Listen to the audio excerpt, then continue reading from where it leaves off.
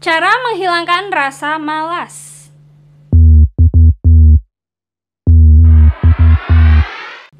Salah satu sifat yang dimiliki oleh setiap orang. Rasa malas memang gak gampang dihilangkan ya kalau nggak ada kemauan yang kuat dari dalam diri sendiri. Rasa malas bisa muncul tiba-tiba atau bahkan bertahap yang ujung-ujungnya bisa mengganggu kinerja maupun motivasi kamu. Dan yang lebih parahnya lagi, rasa malas juga merupakan salah satu sifat yang bisa menghambat kesuksesan kamu loh. Apalagi kalau nggak diatasi secepatnya.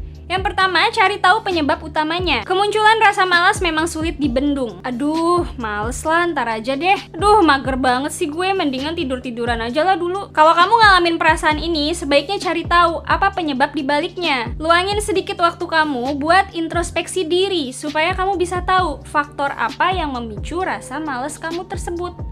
Lanjut yang kedua, berpikir positif. Pikiran negatif, musuh terbesar yang harus kamu basmi. Yuk, mulai berpikir positif dengan menyemangati diri sendiri bahwa kamu bisa menyelesaikan suatu tugas ataupun pekerjaan hari itu juga. Selalu memotivasi diri sendiri, guys. Tanamkan pada diri kamu bahwa kamu bukanlah orang yang malas. Kamu punya impian yang sangat besar dan kamu harus sukses.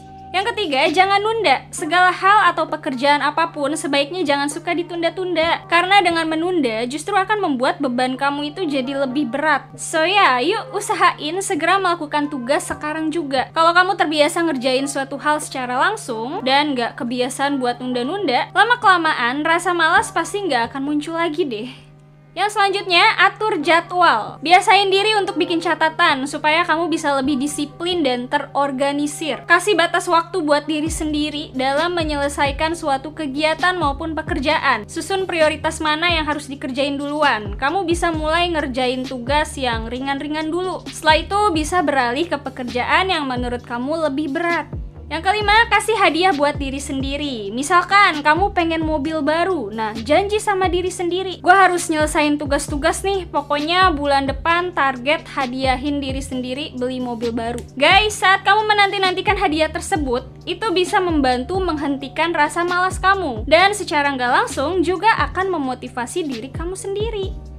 Lanjut yang keenam, komitmen. Kalau kamu udah ngerencanain mau ngerjain sesuatu, maka kamu harus komitmen melakukannya. Rasa malas yang mulai menyerang dibuang jauh-jauh. Yuk, latih diri kamu untuk selalu menjaga komitmen diri. Hindari distraksi yang bisa ngeganggu kerjaan kamu. Misalkan, jangan ngintip sosial media dulu, jangan sambil nonton TV, jangan sambil nyuri-nyuri waktu buat ngegame, dan lain-lain. So ya, yeah, untuk mengatasi rasa malas memang gak gampang. Perlu disiplin dan proses ditambah juga perlu usaha yang kuat. Dan intinya harus dimulai dari diri sendiri. Yuk, semangat yuk untuk hidup yang lebih produktif lagi. Semoga bermanfaat guys.